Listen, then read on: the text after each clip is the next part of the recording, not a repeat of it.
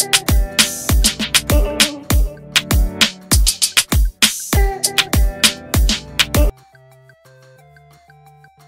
รพันธ์ เปิดเบื้องหลัง ประยุทธ์ ประกาศวางมือทำด้วยความเป็นสุภาพบุรุษ ธีรพันธ์ เปิดเบื้องหลัง ประยุทธ์ ประกาศวางมือทางการเมืองทำด้วยความเป็นสุภาพบุรุษหวั่นพักถูกครหา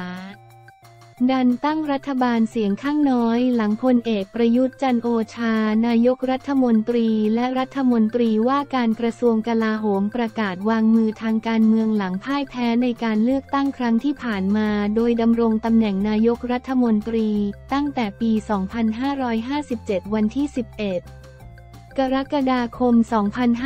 2566 นายพีรพันธ์ สาลีรัตวิภาคหัวหน้าพักรวมไทยสร้างชาติ โพสต์ข้อความผ่านเฟซบุ๊กพีรพันธ์ สาลีรัตวิภาคปีเรแปนสาลีราท่าไวบาก้าถึงสาเหตุที่พลเอกประยุทธ์ประกาศวางมือความว่า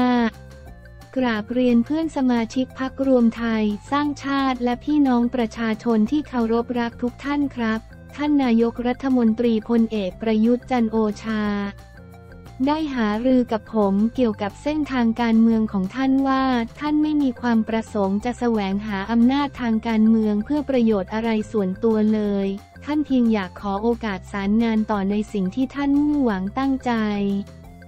แต่เมื่อไม่มีโอกาสนั้นและตัวท่านเองเห็นว่าท่านถูกโยงเป็นประเด็นให้พักถูกวิพากษ์วิจารณ์ ด่วนประยุทธ์ประกาศวางมือการเมืองหลังนั่งนายกรัฐมนตรีนาน 9 ปี ฟุ้งผลงานอื้อด้วยความเป็นสุภาพบุรุษของท่าน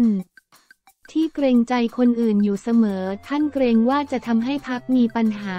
อีกทั้งมีการพยายามสร้างเรื่องว่า ท่านพยายามจะตั้งรัฐบาลเสียงข้างน้อยทำให้เสียภาพทั้งตัวท่านและพัก ดังนั้น เพื่อยุติปัญหาทั้งหมดท่านจึงเห็นว่าการวางมือทางการเมืองของท่านเป็นหนทางที่ดีที่สุด อย่างไรก็ตามท่านยังจะยืนเคียงข้างพวกเราและพักเราตลอดไป เพื่อนสมาชิกพักและพี่น้องประชาชนที่รักทุกท่านครับวันนี้พักรวมไทยสร้างชาติได้รับปลูกฝังบ่มเพาะจากการสนับสนุนของท่านทำให้เรามีสอสอ เข้าไปทำงานเพื่อชาติเพื่อแผ่นดินถึง 36 คน ผมมั่นใจว่าพวกเราทั้ง 36 คนจะเป็นเมล็ดพันธุ์ของคนที่เข้ามาทำงานเพื่อชาติ ศาสตร์กษัตริย์ และประชาชนและเราจะไม่ทำให้ท่านผิดหวัง และหวังเป็นอย่างยิ่งว่าเราจะได้รับการสนับสนุนให้มั่นคง และมีจำนวนมากยิ่งขึ้นในโอกาสต่อไป ทุกอย่างเดินหน้าได้ด้วยกำลังใจและความเชื่อมั่นเสมอ ขอกราบขอบพระคุณเป็นอย่างยิ่งครับ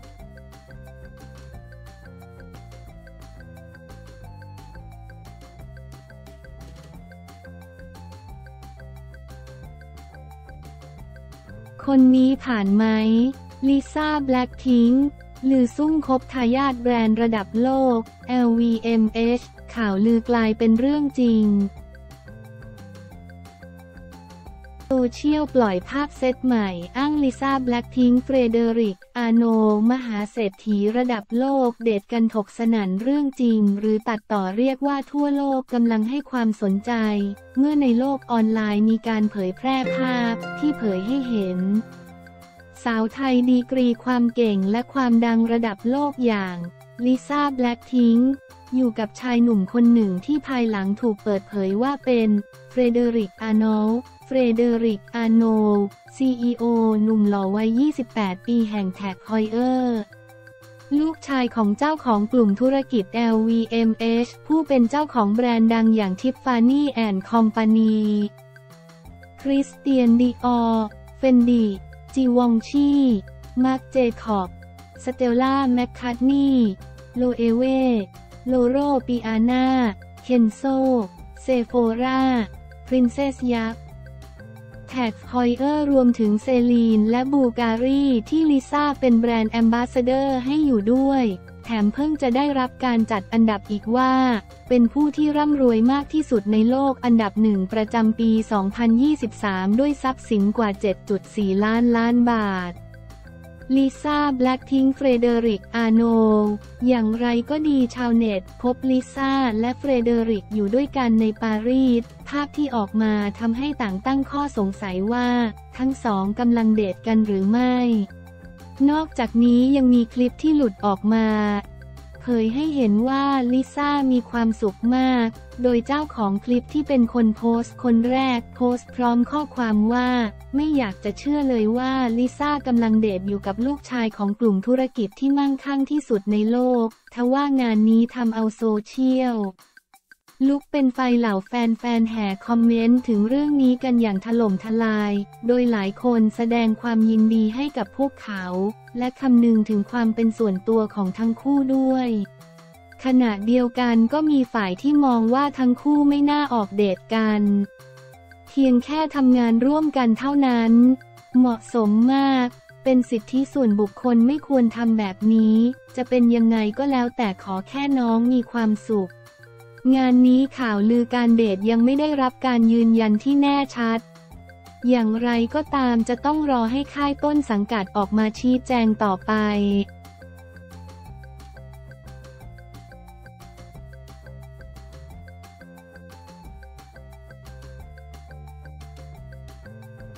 แคนดี้ไม่โฟกัส อดีต ยื่นมือช่วยป้ากบปลดหนี้เผยสภาพจิตใจล่าสุด แคนดี้ไม่โฟกัส อดีต ยื่นมือช่วยป้ากบสั่งผลิตน้ำปลาร้าตั้งเป้าหนึ่งเดือนล้านขวดเผยสภาพจิตใจอีกฝ่ายดีขึ้นหลังเห็นลู่ทางปลดหนี้วันที่ 10 กรกฎาคม 66 นักร้องลูกทุ่งสาวคนสวยแคนดี้รากแก่นเปิดใจกับทาง ข่าวสดบันเทิงออนไลน์ ถึงเหตุผลที่ตัดสินใจยื่นมือเข้ามาช่วย ป้ากบเจ้าของโรงงานผลิตน้ำปลาราคู่กรณีของพิมรี่พายแม่ค้าออนไลน์ชื่อดังเผยไม่ขอโฟกัสเรื่องที่ผ่านมาเดินหน้าสู้ไปด้วยกันตั้งเป้าหนึ่งเดือนล้านขวดปลดหนี้เริ่มต้นชีวิตใหม่ เริ่มต้นยื่นมือเข้าช่วยป้ากบได้ยังไง เริ่มจากที่เราเป็นแม่ค้าออนไลน์อยู่แล้ว มีสินค้ามากมายที่เราขายอยู่ประจำ แล้วพอดีเราเข้าไปเมนในโพสต์ของน้องคนหนึ่งที่รู้จักกับป้ากบว่า อุ๊ย ซึ่งเราไม่รู้จักกับป้ากบเลย หลังจากนั้นน้องคนนั้นก็โทรมาปรึกษาว่าป้ากบมีปัญหาอย่างนี้เกิดขึ้น แต่ไม่ได้เล่ารายละเอียดมากสุดท้าย เราก็บอกว่างั้นเข้ามาคุยกันเผื่อเราช่วยอะไรได้ จนป้ากบมาหาที่ออฟฟิศก็ได้คุยกัน วันนั้นก็ชวนเข้าไลฟ์เลยขายปลาร้าใช่ไหม ราคาเท่าไหร่ ปรากฏป้ากบบอกว่าไม่มีของเราก็ตกใจว่าไม่มีของแล้วมาให้เราช่วยอะไร ทีนี้เลยให้ป้ากบเล่าให้ฟังหน้าไลฟ์เลยว่าเกิดอะไรขึ้นพอฟังที่ป้ากบเล่าแล้ว เซนเราบอกว่าผู้หญิงคนนี้เขาพูดความจริง เจ็บจริงเสียใจจริง เราก็เลยสัญญาไปว่าจะช่วยป้ากบขายของ ผลิตออกมาเลยเดี๋ยวช่วยเอง เราไม่ขอโฟกัสเรื่องที่ผ่านมา เพราะไม่รู้เรื่องอะไรเลย แล้วเราก็มารู้อีกว่าผลิตไม่ได้ เพราะเราไม่มีทุน เลยกลายเป็นว่าถ้าอย่างนั้นในเมื่อเราคิดอยากจะช่วยแล้วก็เดี๋ยวจะเอาของที่เราขายได้มาขายขาย เพื่อที่จะเอาทุนมาจ้างให้โรงงานป้ากบผลิตให้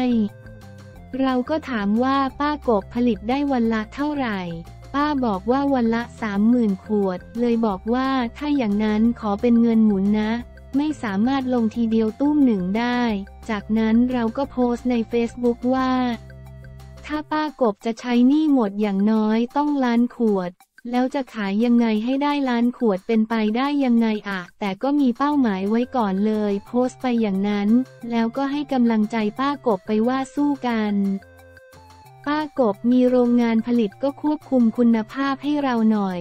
ส่วนเราจะมีหน้าที่ขายให้แล้ว ตอนนี้ก็มีคนอื่นๆ อยากมาร่วมด้วย อยากสั่งผลิต แต่ไม่รู้จะขายยังไงก็มาสั่งผลิตที่ป้ากบเลย แล้วจะฝากเราขายก็ได้ ขั้นตอนล่าสุดในตอนนี้คือเราทดลองสูตรและได้ชิมแล้ว เลือกสูตรที่ดีเลยในเมื่อคนทั้งประเทศอยากจะช่วยป้า ป้าก็ต้องตอบแทนด้วยการผลิตของที่ดีที่สุดให้เขาได้กิน เพราะอันนี้จะไม่ได้แค่กินช่วย แต่หมายถึงว่าเขาจะกินของเราตลอดไป เราก็อยากช่วยให้ป้าแกเติบโตได้ค่ะ นอกจากตัวเองแล้วมีคนในวงการเข้ามาช่วยอีกไหม ตอนนี้ก็มีนายห้างประจักษ์ชัยไหทองคำเขาเป็นคนอีสานเหมือนกันรวมถึงแม่ค้าออนไลน์อีกหลายคนที่เสนอตัวเข้ามาช่วย เราก็ดีใจที่ได้เห็นน้ำใจของคนเหล่านี้ ตอนนี้ก็ตั้งเป้าว่าอยากขายให้หนึ่งล้านขวดภายในหนึ่งเดือนค่ะ หลังจากตัดสินใจที่ยื่นมือช่วยแล้ว ได้ติดตามข่าวของป้ากบกับพิมรี่พายบ้างไหม ตอนนี้เห็นแต่ข่าวเรื่องของเราเองที่จะขายของให้ป้ากบ เรื่องอื่นไม่มีเลยนะคะ อีกอย่างมองว่าเรื่องนี้น่าจะเป็นเรื่องของทางทนาย มันคือเรื่องของเมื่อวาน แต่ตอนนี้เรากำลังพาป้ากบไปพรุ่งนี้ เดินหน้าเลย เรื่องในอดีตเราขอไม่รู้เรื่องดีกว่า ไม่กลัวว่าจะมีผลกระทบอะไรโยงมาถึงตัวเรา ไม่มีอะไรโยงได้เลยค่ะ เพราะว่าเราขายของ ถ้าเกิดคนพิพาทกันสองคนแล้ว คนนี้กำลังจะโตขายของของเขาต่อไป แล้วอีกคนจะมา เรามองว่ามันไม่เมกเซน เราเชื่อว่าเขามีเหตุผล เพราะเราเองก็เป็น FC เขามากๆ ทุกวันนี้ยังซื้อของเขาเต็มไปหมดเลยเรื่องนี้อาจจะไม่ใช่เรื่องที่เขาจะต้องมาจัดการป้ากบในทุกๆอนู เพราะฉะนั้นเราไม่กังวลเลยค่ะ คิดว่าเขาอาจจะดีใจกับเราด้วยซ้ำไปที่ทุกวันนี้เรามาช่วยให้ป้ากบลืมตาอ้าปากได้นิดนิดหน่อยหน่อยๆแต่ก็ถือว่าได้ช่วยสภาพจิตใจของป้ากบเป็นยังไงบ้าง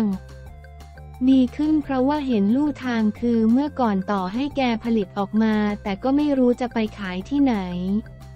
ซึ่งจริงๆ แกมีลูกค้าอยู่แล้ว เพราะขายมา 20-30 ปี แต่แกไม่มีเงินในการตั้งต้นผลิตไง เมื่อไหร่ที่เราทำให้แกตั้งต้นได้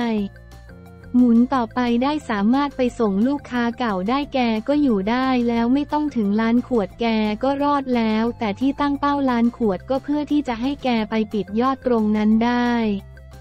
ตอนนี้แกเลยรู้สึกว่าอย่างน้อยก็มีแม่ค้าคนหนึ่งยื่นมือเข้ามาช่วยขาย แกก็ยิ้มได้อันนี้หมายถึงเรื่องในอนาคต แต่เรื่องในอดีตพอเข้าไปคลุกอีกบางทีแกก็จะรู้สึกเศร้าๆหน่อย